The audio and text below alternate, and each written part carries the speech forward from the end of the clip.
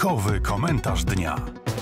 Kłaniam się Państwu, dzień dobry, a dziś z nami Andrzej Halicki, europoseł Platformy Obywatelskiej, a od dzisiaj także wiceprzewodniczący Europejskiej Partii, Partii Ludowej. Kłaniamy się Panie Przewodniczący. Dzień dobry, dzień dobry Państwu, witam serdecznie. Jeszcze w Rotterdamie? Nie, już jestem, e, no właśnie jestem w drodze do, do budynku Parlamentu Europejskiego, ale już w Brukseli. No dla Pana to chyba bardzo udany kongres. Gratulacje. Dziękuję serdecznie. Ja chciałbym, żeby to było wyzwanie, które będzie korzystne dla Polski, Polaków i, i to jest moje zadanie. Chciałbym kontynuować to, co Europejska Partia Ludowa robiła do tej pory. Myślę o procesie integracji na przykład i jej wkładzie w ten, w ten proces. Dzisiaj mówimy o kolejnym możliwym etapie rozszerzenia. Jest kwestia Ukrainy, Mołdawii, ale także krajów bałkańskich. No ale także w kwestii obrony praw podstawowych, bo to jest fundament naszej europejskiej e, cywilizacji. Z jednej strony tożsamość, z drugiej strony ochrona praw obywateli, ochrona praw mniejszości, demokracja jako praworządność. Mhm. Pan został wiceprzewodniczącym, a Donald Tusk przestał pełnić funkcję szefa Europejskiej Partii Ludowej.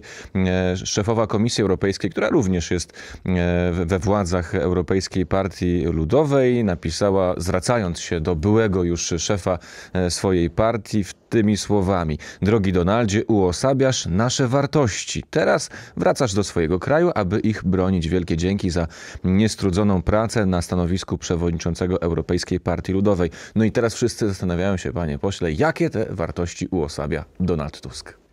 To jest to, co powiedziałem przed chwilą. Z jednej strony tożsamość, bardzo ważna dla każdego z nas, bo każdy ma ją i powinien pielęgnować, powinien o niej pamiętać i, i, i, i odwołałbym się trochę do takiej e, tischnerowskiej filozofii, również gwarantować wolność i możliwość e, tego bezpiecznego poczucia i pielęgnowania swojej tożsamości innym. Więc tam, gdzie tam kończy się moja wolność, gdzie naruszam wolność twoją, mówił ksiądz Tischner. To jest chyba takie wyzwanie nowoczesnej chadecji, w której nikt nie neguje korzeni europejskich, chrześcijańskich właśnie, ale z drugiej strony te bezpieczeństwo innym również gwarantuje. Ale my mamy, mamy przed sobą również wyzwania polityczne, dużo poważniejsze dziś w obliczu kryzysu.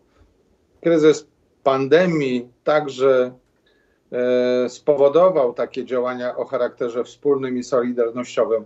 Natomiast e, wojna i agresja Rosji na Ukrainę jeszcze raz udowodniła, że to Polacy mieli właściwą ocenę i ostrzeżenia płynące z Polski, tu mówię nawet ponad politycznymi podziałami, bo akurat w tej kwestii chyba wrażliwość mamy wspólną, y, były słuszne, więc polski głos powinien zmieniać Europę. I myślę, że jako największa frakcja w parlamencie, też największa międzynarodówka, która w Europie rzeczywiście wyłania z siebie wiele kluczowych osób, to zadanie, które podjął, którego podjął się Donald Tusk jako przewodnicząca, które chciałbym kontynuować ja jako członek prezydium tej formacji, to będzie właśnie wpływanie na to, by europejski głos był bliższy tej naszej wrażliwości. No właśnie, chciałem do, o to dopytać, panie przewodniczący. Jakby pan podsumował e, ten czas, kiedy to Donald Tusk był szefem e, pańskiej e, partii, tej, tej międzynarodówki, jak to pan określił. Co takiego udało się zrobić Donaldowi Tuskowi na tym właśnie stanowisku? Przede wszystkim ją zjednoczyć i skonsolidować, bo proszę sobie przypomnieć te początki. To była no, z jednej strony to była kwestia dyskusji o Europie, bo przecież e, czas Brexitu, ale z drugiej strony bardzo mocny spór, spór, e, o których często mówiono, że to jest spór o wartościach europejskich i niektórzy nie jak gdyby podważali możliwość jak gdyby jednoznacznej ich definicji. Ale z pewnością pamięta pan, e, jak żartowano o Donaldy, Donaldzie Tusku, że jedyne co mu wyszło to Wielka Brytania z Unii Europejskiej. No nie, bo teraz mówimy przede wszystkim o tym i na pewno Donald Tusk nie jest za to odpowiedzialny. To przypomnijmy sobie decyzja Brytyjczyków i, i czym innym jest procedura oparta o rzeczywiście paragraf 5 i całą kwestię referendum. Przypomnijmy sobie i negocjacje podjęte ze strony brytyjskiej, a czym innym to, o czym mówię, czyli ta spójność i mhm. działanie wobec, wobec wartości. Mhm. Spór z Wiktorem Orbanem na przykład, żeby przypomnieć początki tej prawie trzyletniej kadencji. Który obserwowaliśmy na przykład w no ostatnich tygodniach podział również. w ramach EPL-u, bardzo mocny podział w naszej frakcji, gdzie właściwie w wielu kwestiach nie można było osiągnąć tej jedności. Dziś ta jedność jest na tyle skuteczna, że to nasz wspólny, jednolity głos stanowi o decyzjach parlamentu. Mhm. Jeżeli przypomnieć ostatnie rezolucje, na przykład dotyczące sankcji czy embarga, bardzo daleko idą od tego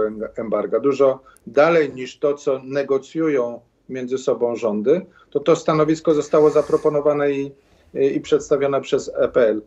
20 czy 30 głosów było przeciwnych w całym parlamencie. Można powiedzieć, że takiej jedności nie narzuciliśmy jako grupa nigdy wcześniej.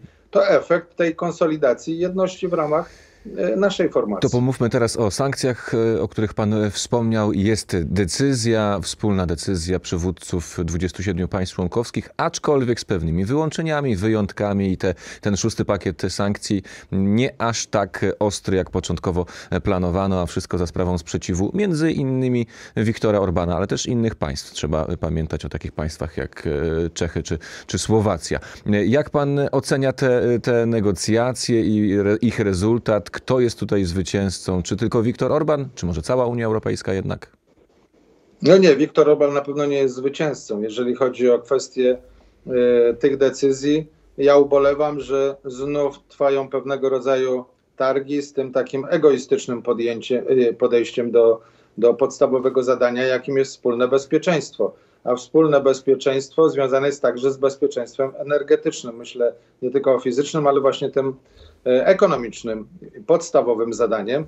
I tu znów się kłania polski głos. No przecież Jerzy Buzek proponował bardzo konkretną mapę dostaw i rurociągów z ośmiu różnych kierunków, z których dwa jeszcze nie są zrealizowane w pełni. Byłoby dzisiaj zupełnie inaczej, gdyby ta pełna mapa była realizowana dużo wcześniej. Mm, e, a jeszcze do tego mówimy o rozporządzeniu, które także Jerzy Buzek inicjował a zostało przyjęte formalnie w 2017 roku, czyli y, bezpieczeństwo energetyczne, czyli mhm. proces magazynowania i budowania zapasów. Jeżeli wprowadzimy to w życie, a możemy to i musimy wprowadzić jak najszybciej, to znów ktoś, kto nie słuchał polskiego głosu wcześniej, dziś mówi tak. No a wielu nie raz. słuchało, przecież wie, wiemy jak to wyglądało, jeśli chodzi o współpracę energetyczną. Wielu państw Unii Europejskiej z Rosją, wielu się wręcz uzależniło. Tak, to prawda. A to nie znaczy, że Polski. my nie mieliśmy racji? Nie, mieliśmy nie ja nie mówię, że nie mieliśmy, tylko że nas nie słuchano. I, i oto y, toczy się tutaj y, gra, jeżeli tak nieładnie się wyrażę, bo myślę, że budowanie świadomości to jest proces i nie da się tego procesu y, budować w ten sposób, że nie ma szacunku nawzajem i partnerstwa w tym. E, w tym no tak, procesie. ale embargo wejdzie w Krótko życie dopiero mówiąc, za 7 nie miesięcy. Jest w moim odczuciu 7 miesięcy. drogą do budowania wyższej świadomości i akceptacji wśród tych partnerów, którzy mają niższy poziom wrażliwości na niektóre. Panie Przewodniczący, jeszcze kwestie, słówko o Na przykład w kwestii polityki wschodniej, bo my mhm. mamy większe doświadczenia i dużo bardziej no, trudne. I inną wrażliwość, mam e, wrażenie. Panie pośle, jeszcze na, na koniec Ale króciutko. Chciałem powiedzieć, że tak? nie, nie negowanie czy wetowanie nawzajem i szantaże są y, drogą do tego wspólnego, silnego stanowiska, ale po prostu poważna polityka, którą Finalnie weta węgierskiego nie było. Liderzy także słuchając siebie nawzajem. Szczyt za nami, przed nami wizyta szefowej Komisji Europejskiej w Polsce. Króciutko, czego pan się po niej spodziewa? Chciałbym, żeby wreszcie środki które, na które czekają Polacy, polskie samorządy trafiły y, do Polski, żeby pracowały, bo przypomnijmy, już rok temu zostały uruchomione środki dla wielu państw członkowskich, a od roku polski rząd nie zrobił w tej sprawie kroku naprzód. Wręcz odwrotnie, straciliśmy zaliczkę 5 miliardów euro, płacimy kary wielomilionowe, też idące w miliardy, a jeszcze do tego nie korzystamy ze środków. A niektórzy europosłowie Platformy no jednak zagłosowali. Liczę, że zamiast sporu będzie za rezolucjami przeciwko Polsce. A jednocześnie komisja nie da się oszukać, więc będzie także dbałość o to, by te środki nie zostały zmarnowane i przeznaczone nie, w niewłaściwy Czekamy sposób. zatem na tę wizytę. Jutro szefowa Komisji Europejskiej w Polsce. Bardzo dziękuję za rozmowę. Gościem trójkowego Jeszcze komentarza. dzisiaj trwa e, college, przypomnę, który jest procesem akceptacji Tak jest, samego tak dokumentu, jest. więc To czekamy na wszystko- prac wszystko tutaj prawda. komisarzy. Europoseł Andrzej Halicki, tak jak mówiłem od dzisiaj, wiceprzewodniczący Europejskiej Partii Ludowej był moim Państwa gościem. Dziękuję. Dziękuję, również pozdrawiam.